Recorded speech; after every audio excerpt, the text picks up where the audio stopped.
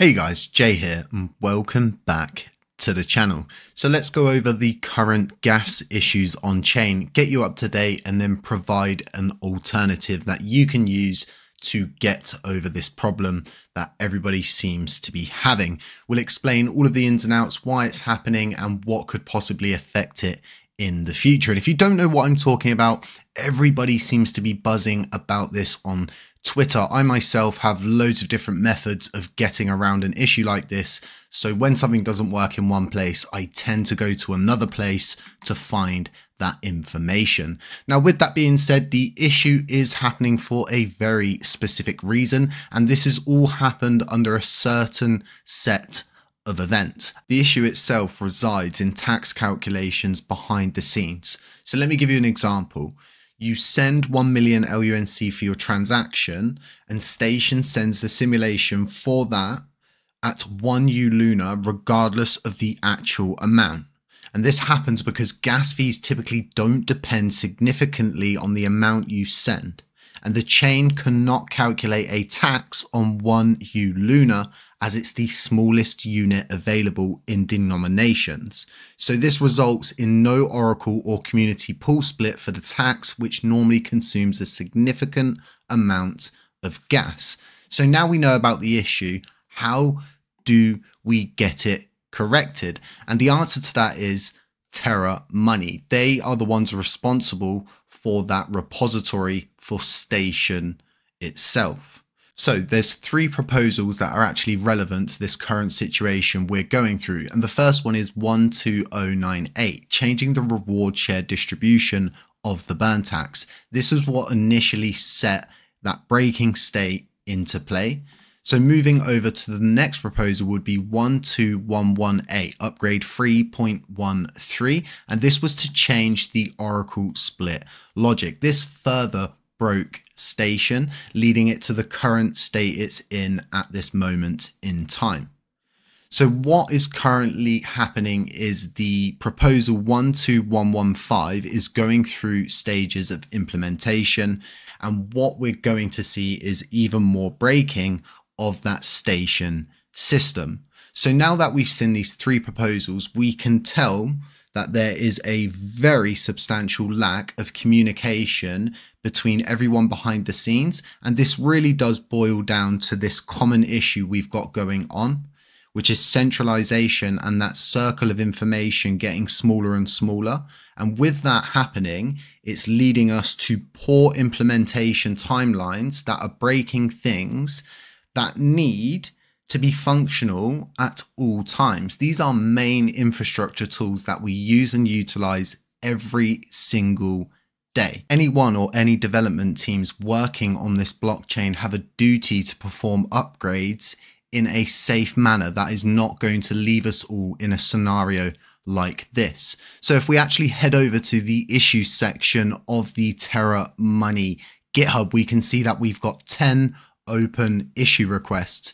Now, inside these issue requests, if we dig a little bit deeper, we can see that our main man, StrathCole, has got a pull request there for them. And this itself should fix that estimation in the transactions. And all we need is Terra Money themselves to go in, check that and merge it into that repository. So hopefully we have reached out to Chris Amani himself. He does follow me on Twitter and we have been in spaces with them previously. Now, if we take a look at recent news that TFL has made available to us, we can actually see that they're going to be reopening the Terra Shuttle bridge. And this is going to be for the redemption of wrapped assets on Terra Classic. So for anybody wanting to use and utilize their coins and wanting to bring them back on chain, it's going to be a very useful tool aside being your everyday go-to application when dealing with our blockchain. Now let me show you what I am using and utilizing to get around these problems that everybody else is having. And the first thing you're going to want to do is get yourself Keplr wallet downloaded. And this is just the same as Station, just recover your wallet, follow the instructions. We've got tutorials here on the channel. There's links to that at the end of this video, and this will enable you to send and receive coins.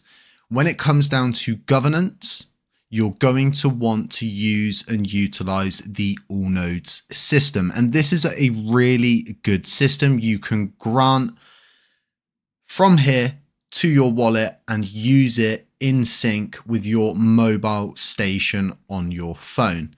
I will be providing another tutorial which will be going out later today, which will also be linked at the end of this video. And as you can see here, I can vote on governance, I can make delegations, I can undelegate, I can withdraw my rewards, and I can also utilize auto compound. So I am using these two products in tandem to avert this problem. Allnodes is relatively simple to use. Just go to their homepage. I'll provide links to both Keplr Wallet and the Allnodes system in the description blocks below.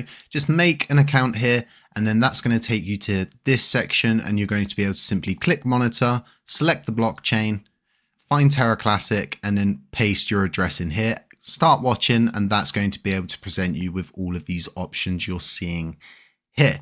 So what I want to do now is kind of give you my perspective of what I believe is happening. There's a severe amount of centralization happening on chain and what this is leading to to generalize the issue down is poor implementation of upgrades that are very poorly coordinated. This leads to an unhappy customer, an unhappy validator, and an overall unhappy system, which becomes unusable during one of the most important times of crypto, being the all important bull cycle. Now, when we look at two of the biggest crypto crashes in history, we're presented with Luna and FTX. And Luna itself was run by a centralized body being TFL, who implemented poor upgrades, which led to an exploit in the market module. And if we take a look at SBF at the head of FTX, we are hit with mismanagement of funds, embezzlement, and many other things that were swept under the rug. And this really tells us that centralization in a lot of ways leads to poor outcomes. And the thing that makes our blockchain so attractive is the decentralized aspect that allows you, developers, validators, and any average Joe that would like to be involved in crypto become involved with no bars.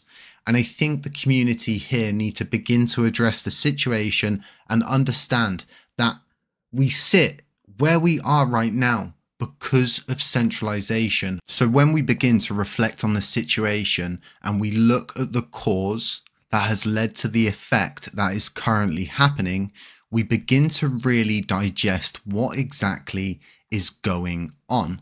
You can see that on the repository, they are gatekeeping in a centralized manner that is preventing us from solving an issue that is affecting our blockchain. And then furthermore, we can see that three proposals in tandem have led to a series of centralized decisions that have not been communicated with others who could have possibly helped remedy this before it became an issue on chain. So now that we've gone over absolutely everything that there is to go over with this gas issue, with solutions, and anything that there was relevant to this situation, I hope you got a good understanding of what exactly is going on, why it's happening, and what you can do to get around it, and how we could possibly remedy that issue in the future. So guys, if you enjoyed the content here, drop a like, drop a comment, subscribe if you haven't already, hit the notifications bell to stay informed, and I'll catch you in the next one.